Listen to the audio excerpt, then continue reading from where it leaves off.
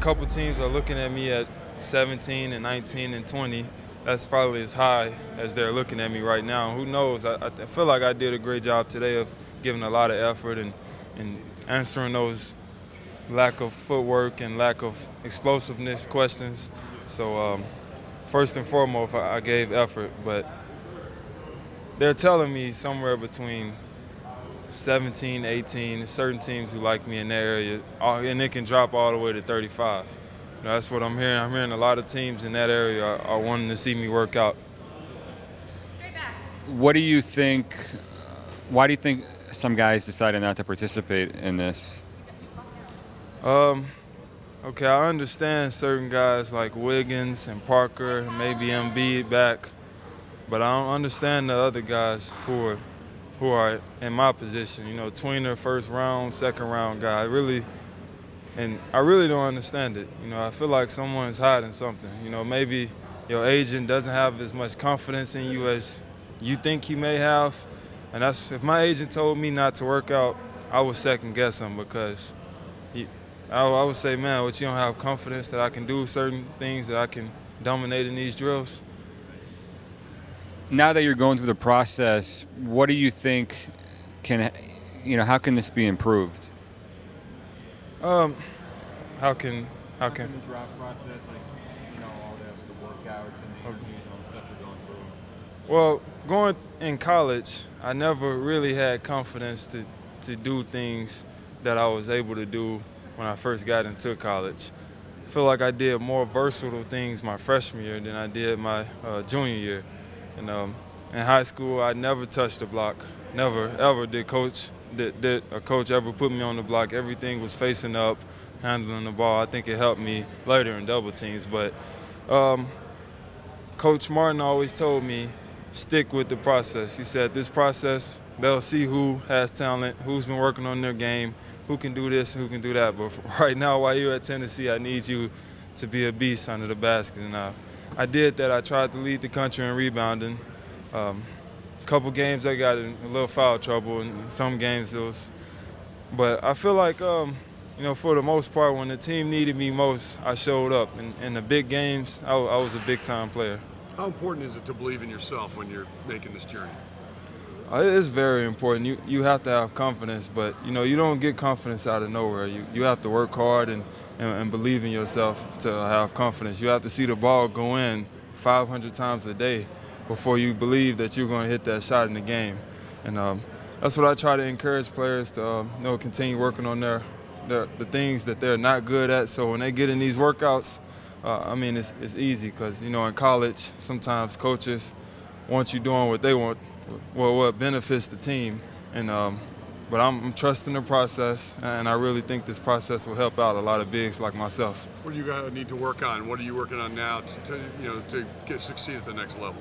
Well, well, first of all, my, my effort is there. You know, I'm competing in every drill, and, and if I miss 100 shots, I'll still compete and, and have positive energy and, and uh, help the players around me. But um, I'm definitely working on my jump shot. I feel like certain um, guys don't didn't see me shoot in college, and I don't I don't blame him. I wouldn't think I can shoot either, but um, you know a lot of that is from uh, you know the coach telling me I have to stay under the basket. You know I'm, I'm 40 pounds bigger than my opponent, so of course that's what I'm going to do. And uh, number two would be just having skill and, and, sticking to my bread and butter. Of course, I'm, I'm much stronger than most guys here, so I definitely want to showcase that, but I want to balance it with a face-up game and, and being able to hit shots. Where'd you get your work ethic from? I think it comes from my dad. You know, my dad is from the military, and he definitely trained me early to be a, beast in what I am now. Um, he woke me up 5 a.m. when I was like seven years old every day before school to do push-ups and sit-ups, and he was very strict on me. I'm talking like beating on doors and and um, at meals you could tell he was in the military because he would be done with his meal in one minute while everyone was still serving food. So I get a lot of my discipline and work ethic from my dad. What support do your family give you? Uh, they give me a lot of support. They're sort of quiet, reserved, somewhat like myself, and I've learned a lot to come out of my shell, to ask, seek advice, talk to guys, cheer guys on doing workouts, have great body language, and you know it, it all comes from my family. It's, it's, sort of a discipline type thing, but you know, it helps me out a lot as far as um, having their their support because I know they're very genuine. You know, during the tournament, you know, Charles Barkley called you the man's man. You know, like what's it like? What's it like to when you know Hall of Fame guys like that, you know, compliment you and your game and, and what you're like, you know, how you play?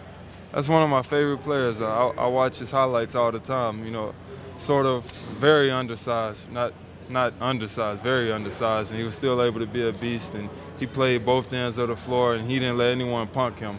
And that's that's my mindset.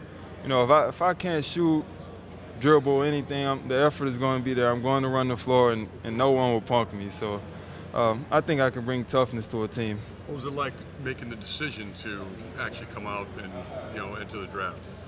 I felt like I was ready. When, when, when you double teamed your whole career and, and you're still putting up good numbers against lottery picks and, and guys with great great defensive players, I, I feel like I was ready. Um, I feel like I made a good run towards the end. I, I, I, gave Tennessee what they wanted, and that was to be back on the pedestal. Because when we got there, Tennessee basketball was dead, and and that was big for me. Just a hometown. That was that was basically my home state, and I was able to put Tennessee back on the pedestal. What's going to be like in late June if you hear your name called? What's going to go through your mind? Um, I'm just going to thank God. I'm going to thank everyone who whoever helped me, and probably going to be in tears for first time since last year. I remember when I was going through this process last year of do I want to come out, I was I was in tears because all these teams were telling me you're not this, you're not that, you're not what you think you are, and that just helped me work harder and harder. And I eventually lost 15 pounds and continue working on my game even more, and and it pushed me to be where I am right now. Thanks, Earl. Be good, right. man. Be Thank safe. You. Take yes, care. Sir. Just to elaborate on what your biggest strengths are, what you're trying to reinforce at the combine here. Um, my biggest strength is strength. I mean, of, of course, I, of course, I know that's my bread and butter, and I'm, I'm never going to get away from that. But I think I'll be a matchup problem when it comes to um, certain guys who are, are smaller than me and certain guys who are bigger than me who can't move their feet as well as I can. Is there something specific that you want to improve on as we get closer to the draft? Uh, I think it's a lot of things I can improve on.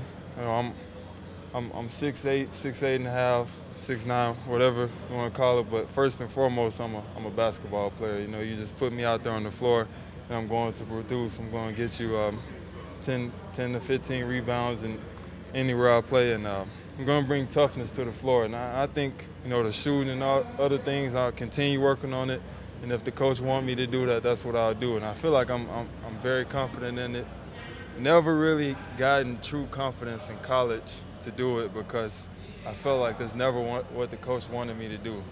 And uh, I just want to continue doing what the coach wanted me to do. And, uh, and if he want me to do whatever, if he want me to, if, if he want me to stick to my bread and butter, that's what I'll do.